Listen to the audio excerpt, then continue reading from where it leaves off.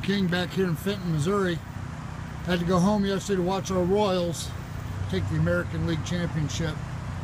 Uh, so now we're back here in Fenton and uh, it's dry finally and we see some sun.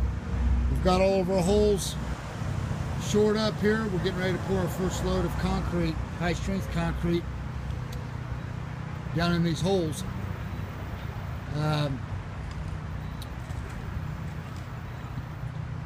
with a load bearing plate, that is what we push off of, folks. That's our first pour. Our final pour will be to encase our king pier and our steel with more high strength concrete up to the top of the footing. Guys have done a very nice job out here.